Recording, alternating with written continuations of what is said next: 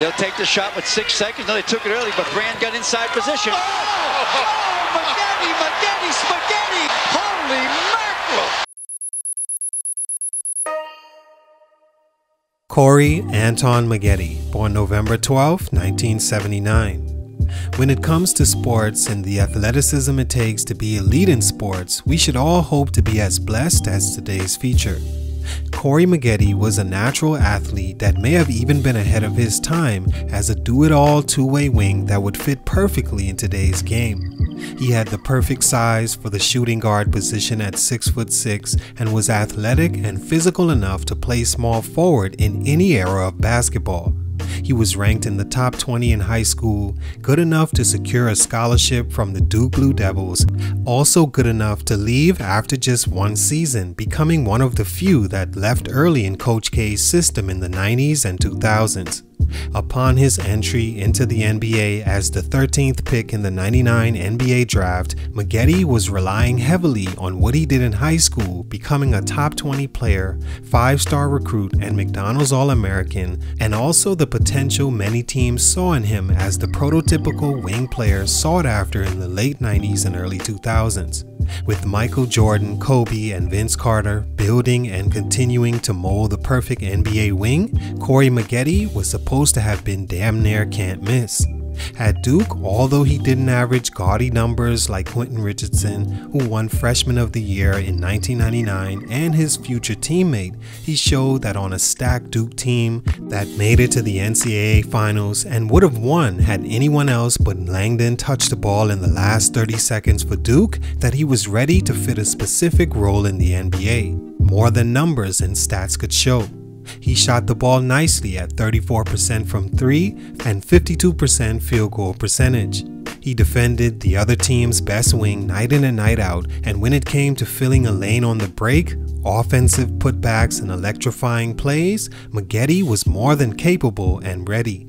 Of the shooting guards and small forwards taken in front of him, only Richard Hamilton had a better pro career. The homework was done and the expectations were high for Maggette to step in almost right away and help win games and compete with the other up and coming NBA wings and one day at least become an all-star. He's never made an NBA All-Star team in his 14 NBA seasons, and of those, only made it to the playoffs once in his career, losing in the second round in 2006 to the Phoenix Suns. After the bulk of his career with the Clippers, he became a journeyman, playing for bad teams ever since, where he could score points that didn't lead to his team contending. I wouldn't say he had a bad or disappointing career, just that for these reasons, it could have been much better. Let's talk about it. It's your boy JC Stunted Growth. Let's get it, man. Take a minute to like, subscribe, and comment on who I should do next. You can also send a super thanks by clicking the button below. Enjoy the video. Corey Maggette was a 6'6 shooting guard small forward from Melrose Park, Illinois, and starred in Oak Park for Fenwick High School. Because physically he excelled a lot faster than his peers, he often played power forward for his high school team, showing he had all around skills and a coachable attitude to adjust to what the team needed. It made him a McDonald's All American in 1998 and an attractive prospect all throughout his freshman year at Duke. He had the National Player of the Year Elton Brand on his team, along with All American Trajan Langdon and two other future NBA players, and still the Orlando Magic saw enough to trade for him on draft night, having the Sonics take him 13th for the Magic for two time NBA champion Horace Grant at the time and draft picks. They saw enough to feel he didn't have the potential they thought and moved on.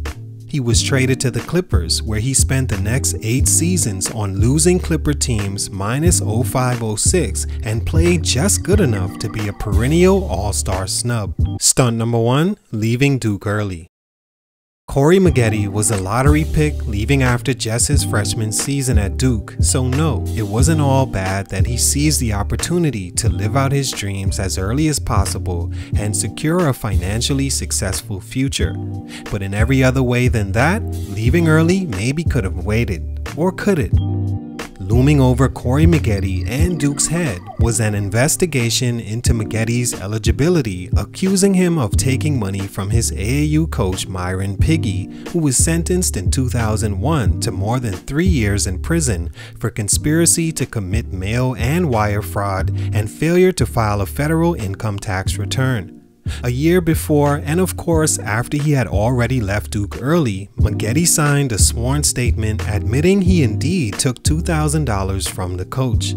Duke was not fined nor had to vacate games from Corey's freshman season because the NCAA ruled they had no knowledge of what was done before Maggette enrolled at Duke.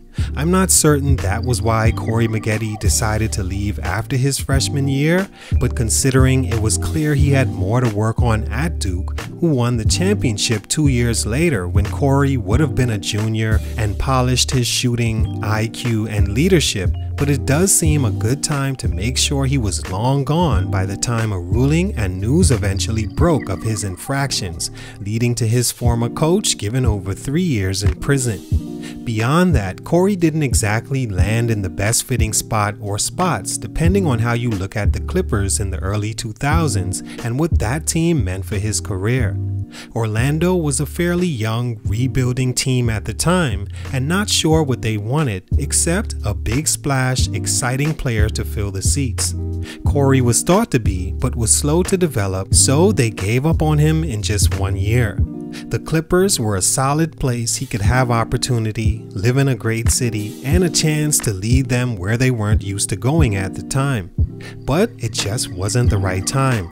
Partially because Maggette hadn't yet become ready enough to do what it took to lead them to winning. Maybe a few more years at Duke would have helped. Risky choice. Financially, he made the right decision. Readiness wise, no. Stunt number two the Clippers. Secondly, I think him landing and staying with the LA Clippers for the better part of his career also stunted his growth because it offered no real challenges to push Corey over the hump and finally enter the star player realm he was supposed to with his physical gifts perfect for basketball. The Clippers were a downtrodden team that throughout the 90s decade only made it to the playoffs three seasons.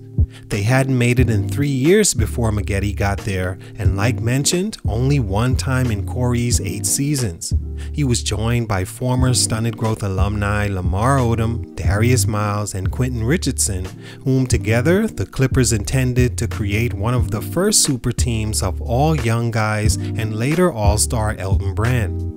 This core would go on to be one of the biggest bust stories of the 2000s, and most of that was because the organization had foundational issues in its front office clearly for decades, and a core that were too immature and lacked real leadership to have the success they potentially could have. The Clippers signed him for 5 years, 35 million in 2003 and another 5 years, 48 in 2008. So all wasn't bad.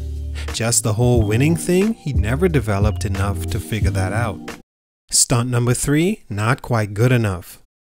And lastly, I always saw Corey Maggette as a solid player, but just not quite good enough in areas many expected he would dominate to say he reached his full potential on the court.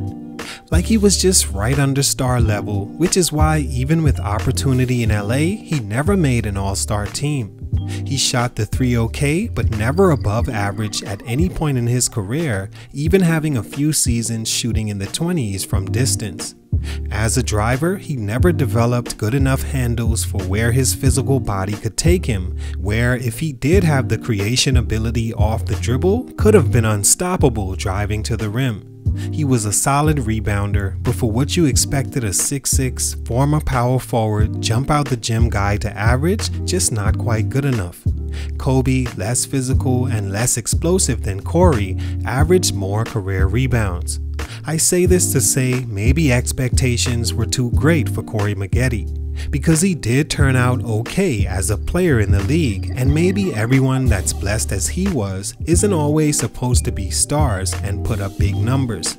Corey Maggette, some say should have, but it just wasn't in the cards. All in all, Corey Maggette was lucky to have the career and longevity he had, and had he done anything different, things could have played out a lot worse.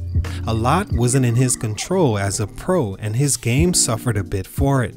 A small bit, but he did average over 16 points a game for his career and played a long time in the NBA. But for these reasons, his growth was stunted. It's your boy JC Stunted Growth, and I'm out.